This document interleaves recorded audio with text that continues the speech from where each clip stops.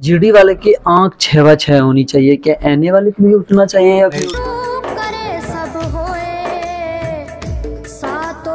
Physical पहला बार जो था वो उसमें मिस कर गए थे जिसमें रनिंग में निकला था। इस बार आपने कितना घंटे में नमस्कार दोस्तों आप देख रहे हैं शिक्षा समाचार।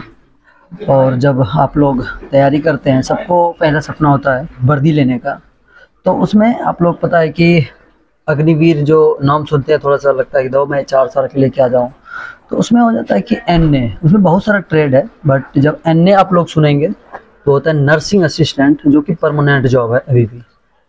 तो मेरे पास अभ्यर्थी हैं नर्सिंग असिस्टेंट वाले, ये फाइनली सिलेक्शन है कि इसका फ़िज़िकल किस तरह का तैयारी किए थे, और रिटर्न किस तरह का तैयारी किए थे मेडिकल में मेडिकल तो सबका सेम होता है, ये जीडी हो ट्रेडमैन हो टेक्निकल हो, कोई भी हो।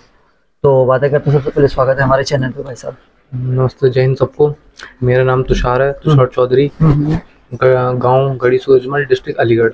और एरो कौन सा लगता है? यारो आगरा लगता है अगला लगता है अच्छा सबसे पहले ये होता है कि एन जो होता है वो थोड़ा सा उसके बारे में हल्का सा बताएँ और उनकी तैयारी जो होती है आप कैसे किए थे? देखिए नर्सिंग असिस्टेंट जो हम्म। की training AMC centre and college Lucknow में होती है। हम्म, और इसमें जो हाँ। सर्विस पीरियड होता है ये पूरा का पूरा होता है। इसमें ये नहीं है कि आपको चार साल सर्विस करनी है। हाँ।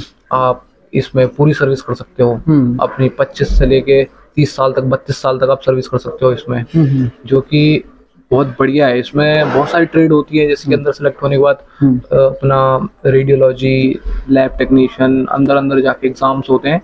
और जितने भी जो पैरामेडिकल्स होती हैं हम्म, हम्म, उसमें सर्विस कर सकते हैं अपनी मेडिकल हैं। हाँ, मेडिकल कोर में। हाँ। मैंने तैयारी की थी दो साल पहले। हम्म, हम्म, हम्म, और जब मैंने तैयारी की थी तो मैंने यूट्यूब से तैयारी की थी पहले आर डब्ल्यू से। हाँ हाँ। आर डब्ल्यू से यूट्यूब और मैराथन ये सब देखी थी। हम्म, हम्म, जिससे पूरा का पूरा पेपर ऐसा ही आया था इजी आया था तो फ़र्स्ट टाइम तो मैंने कर लिया था कुछ भी प्रॉब्लम नहीं थी अच्छे क्वेश्चन थे मेरे। अच्छा अच्छा। फिफ्टी क्वेश्चन होते हैं इसमें मेरे सही थे पिछली बार फोर्टी थ्री समथिंग सही थे। अच्छा अच्छा। पर मैंने फ़िज़िकल पे ज़्यादा ध्यान दिया नहीं उस टाइम मैंने फ़िज़िकल पे ज़्यादा ध्यान दिया नहीं उस टाइम अच्छा मतलब ऐसे ऐसे था हाँ मतलब चलो ठीक है कोई ठीक है, है। पेपर बढ़िया गया बढ़िया गया दौड़ तो। मार ही लेते हाँ, हाँ, हैं हाँ। क्या दिक्कत है? और उनकी फ़िज़िकल में मार्क्स भी नहीं होता इसीलिए सोचा हाँ। आपको क्वालिफाई करना है। क्वालिफाई करना हाँ, है हाँ, अपना ऐसे ही चले गए हाँ ऐसे चलेगा फ़िज़िकल आ गया रानी खेत हाँ हाँ। अब वहाँ पे एल्टीट्यूड था ऐसी सांस फूली। हाँ। और मैं हो गया फेल उसमें अच्छा अच्छा। आ गया। हाँ। फिर जब फिर देखा चलो निराश हुए कोई बात नहीं। हम्म, हम्म, फिर तैयारी की रनिंग वनिंग इस बार रनिंग अच्छे से बना के चले। अच्छा अच्छा। और फिर रिटर्न इस बार बहुत बढ़िया गया। इस बार भी पेपर पिछली बार से थोड़ा सा टफ आया था। अच्छा अच्छा। और वैकेंसीज भी कम थी। अच्छा। पर मेहनत करी तो हो ही गया ऐसा कुछ था नहीं है सच इसमें तो 44 समथिंग क्वेश्चन इस बार भी सही हो गए। फोर्टी फोर हाँ और इसमें मेरा फाइनल लिस्ट में फ़िज़िकल हुआ फ़िज़िकल पार अगले दिन मेडिकल हाँ। और उसके बाद ground fit medical ground fit हुआ था। अरे वाह। कोई दिक्कत नहीं है ऐसे मेडिकल में। हम्म, और अपना बस मैं फाइनल मेरिट लिस्ट आई कुछ उन्नीस सितंबर को और उसमें सात वैकेंसी आई ए में। साथ ही था? बस सात वैकेंसी थी। अच्छा अच्छा।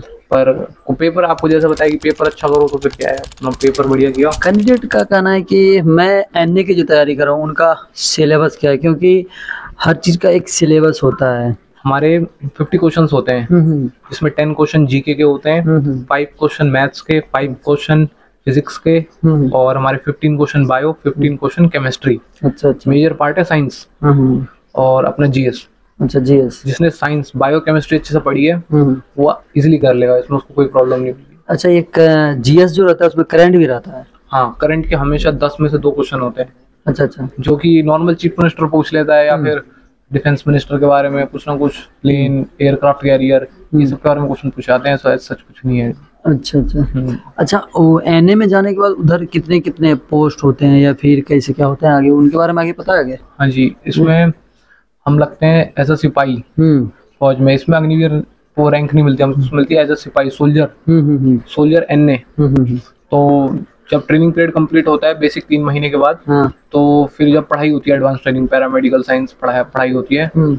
फिर उसके बाद होती है जब कसम पीरियड हो जाती है एक साल बाद हम्म। तो इसमें होती है हमारी क्लास थ्री हम्म। क्लास थ्री में हमको पढ़ाया जाता है प्रैक्टिकल पढ़ाया जाता है मिलिट्री हॉस्पिटल में।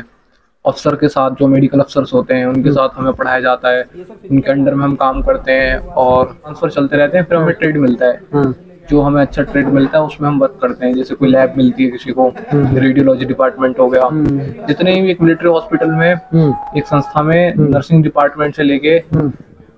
पैरामेडिकल में होते हैं हम्म। उसमें हमको सर्विस करनी पड़ती है। सर्विस करनी पड़ती है। अपने फ़िज़िकल पहला बार जो था वो उसमें मिस कर गए थे जिसमें रनिंग नहीं निकला था। इस बार आपने कितना घंटे मेहनत करते थे यार सुबह शाम कैसे? इस बार मैंने ऐसे किया था अपनी जो फ़िज़िकल को लेके बहुत मैं अपना शेड्यूल टाइट था मेरा। क्यों मैं पूछ रहा हूँ ना क्योंकि पढ़ने वाला स्टूडेंट का थोड़ा फ़िज़िकल रहता ही आपको भी पता होगा। बिल्कुल जैसे हाँ, कि हाँ। इसमें आए थे इस बार जिसने नीट क्वालिफाई कर रखा था हाँ। नीट में अच्छे अच्छे स्कोर थे अच्छा वो बच्चे आए थे फ़िज़िकल देने। अरे वाह हाँ। और बहुत अच्छे क्वेश्चन थे उनके बट वही रहता है उनका फ़िज़िकल नहीं हो पाता। हम्म, हम्म। फ़िज़िकल होता है अपनी फ़िज़िकल को लेके बहुत इसमें सीरियस होना पड़ता है। हम्म। आप पहले की तरह नहीं है कॉम्पिटिशन इतना टाइट है वैकेंसी कम है हम्म, हम्म, तो फ़िज़िकल को लेके बहुत श्योर होना पड़ता है। रिटर्न तो पढ़ाई तो करनी करनी है। हम्म, और अपना फ़िज़िकल को भी देख के चलना है इसमें मेन अच्छा। जैसे कि सुबह मैं तो सुबह चार बजे उठता था हाँ। और अपना रनिंग करने जाता था ग्राउंड में। हम्म, सुबह शाम को स्लो रनिंग सुबह स्पीड वर्क अपना शेड्यूल एकदम कोई छुट्टी नहीं एक दिन नहीं। एक दिन भी नहीं। एक दिन रेस्ट नहीं हाँ। कोई बात नहीं। सुबह शाम प्रैक्टिस और फ़िज़िकल ऐसे आराम से हाथ जोड़ लो भाई माफ़ कर दो आप बड़े भाई और छोटे हैं। हाँ, हाँ। हाथ जोड़ लो अपना कोई दिक्कत नहीं है। जिस दिन वर्दी मिल जाएगी तो उन्हें अपने आप पता चल जाएगा तुम क्या हो। क्या तो भाई लड़ाई झगड़ने से बिल्कुल दूर रहो। हाँ, अपना खेलो कूदो कोई दिक्कत नहीं है बट एक लिमिट के टाइम के बाद अपना शाम को आके पढ़ो घर में बढ़िया। थोड़े दो तीन घंटे दिन में आराम से पढ़ो। हम्म, हम्म, और किसी ज़्यादा फालतू बोलो मत। कौन क्या बोलता है हम इतने बढ़िया पेपर कराए उतने बढ़िया पेपर आए कुछ नहीं होता। अपना पेपर कराओ।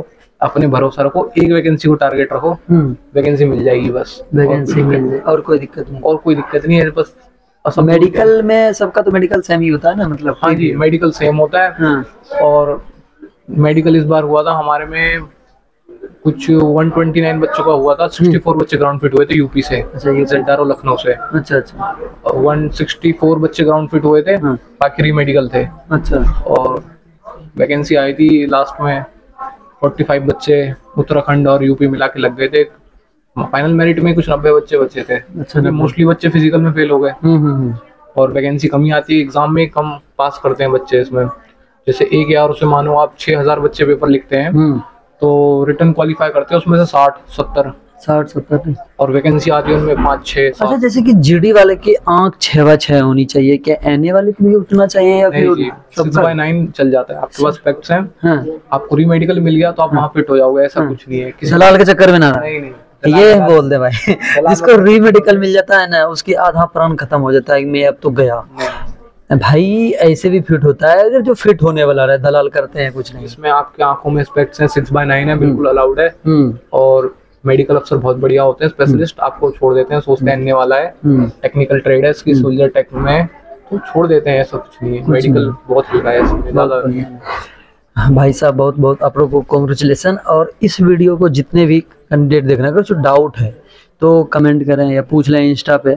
और इस वीडियो को देखने के लिए तमाम दर्शकों का बहुत बहुत आभार। आप लोग वर्दी जुनून है तो इन भाई से मोटिवेशन हो कि कैसे नई तैयारी किए थे। अच्छा रिटर्न के आप कितना घंटा पढ़ते थे? ये थोड़ा सा बता दें लास्ट में। जी तीन घंटे चार घंटे। हाँ। और एग्ज़ाम जब पास आता था थोड़ा कम पढ़ाई कम कर रखा था। हम्म ज़्यादा लोड नहीं लेना चाहिए एग्ज़ाम से। पहले पढ़ो एक महीना तुम्हें एक दो तीन महीने पहले एग्ज़ाम से हम्म। अच्छा खींच के चलो। पहली छह सात आठ घंटे आठ घंटे की पढ़ाई इनफ है। कभी निकाल लो आठ घंटे की पढ़ाई। जैसे कि दो तीन घंटे लेक्चर्स ले लिए बाकी अपना नोट्स रिवीजन किया।